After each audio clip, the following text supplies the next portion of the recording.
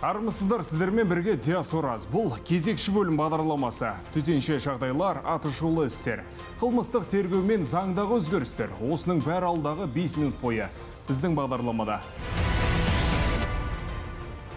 Сәтсіз зорлық қарағандыда халықаралық іздеуде жүрген азамат ұсталды.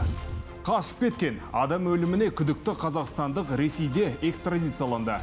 Естен кетпес демалыс. Өзімен бірге гашиш апарған келіншек сотталды. Қазақстанда адам саудасының 49 фактісі тіркелді. Оның 9-ында кәмелетке толымағандарды саудалаған. Астанада 17 адамнан тұратын қылмыстық топ қаладағы элиталық монша кешендерінің аумағында қыздарды жыныстық қызмет көрсетуге мәжбүрлеген. Шымкентте де дәл осы секілді ұйымдасқан қылмыстық топтың жолы кесілді. Өткен жылдан бері Петропавлда да осындай қылмыстық топ жұмыс істеп келген. Онда да қыздарды бопсалау зорлық зомбылық арқылы жыныстық қызметке тартқан. Тағы бірнеше өңірде әлеуметтік осал топтағы балалар мен азаматтарды қайыр сұрауға мәжбүрлеген. Қарағанды қаласында мүгедектерге қоқан лоққы және күш көрсетіп, олардың қайыр сұрауға мәжбүрлеу бизнесін ұйымдастырған адамдар тобы ұсталды. Қылмыскерлер өз құрбандарының есебінен жылына 10 миллион теңгеге дейін табыс тауып отырған. Осыған ұқсас қылмыстық топтардың әрекеттері Ақтөбе, Алматы және Маңғыстау облыстарының аумағында әшкерленді. Қарағанды облысының полицейлері атышулы іске нүкте қойды. Олар 2020 жылдың мамыр айында инкассаторды тонап кеткен топтың соңғы мүшесін ұстады. Сұақ түйегіне дейін ойластырылған жоспар оларға 70 миллион теңге табыса келген. Қолма-қол ақшаны тасымалдайтын көліктің қай бағытпен жүретінін білген төрт адам жол көлік оқиғасын жасап, ақша мен қаруды алып ізін суытқан. Криминалдық полиция қылмыстық топтың үш мүшесін құрықтап, оларда 30 миллион теңге тәркілеген еді. Олар 10 және 11 жылға бас бостандығынан айырылды. Төртінші қарақшыны іздеу осы уақыт бойы тоқтаған жоқ. Халықаралық іздеуде болған Қазақстан азаматы Алматы облысындағы ауылдардың бірінен табылды. Ол 38 жаста. Кісі өлтірді деген күдікке ілінген қазақстандық Ресейден экстрадицияланды. Ол өзінің сыбайластарымен бірге өткен жылдың қаңтар айында Шымкентте кісі өлтірген. Басқалары ұсталып жазасын өтеп жатыр, ал бұл күдікті елден қашып кеткен. Бас прокуратураның мәліметінше ол өткен жылдың желтоқсан айында көрші елде ұсталған.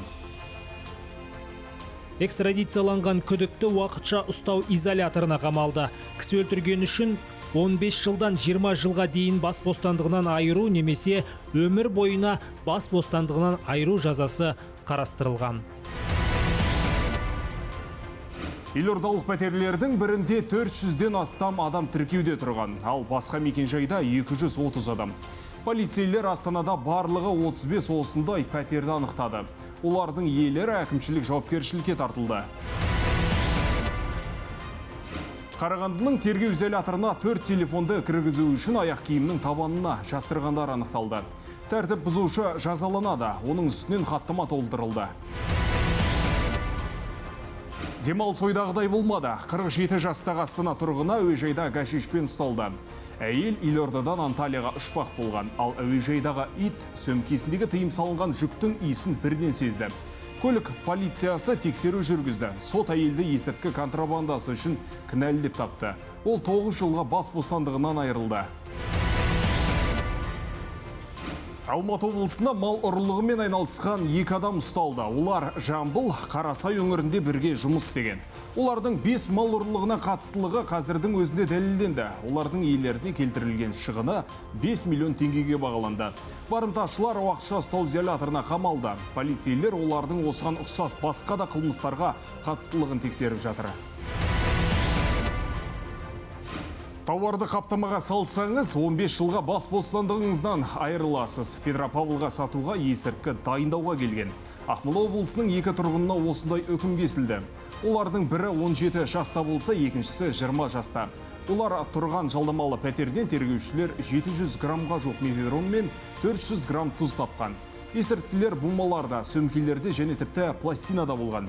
Тәркіленген партияның жалпы салмағы бір келден асты. Жігіттер бұл ауданда үш айға жуық еңбек еткен. Осымен жаңалықтар легі тәмам сақ болыңыздар заң бұзбаңыздар және біздің жаңалықтардан қалыс қалмаңыздар. Келесі кездескенше.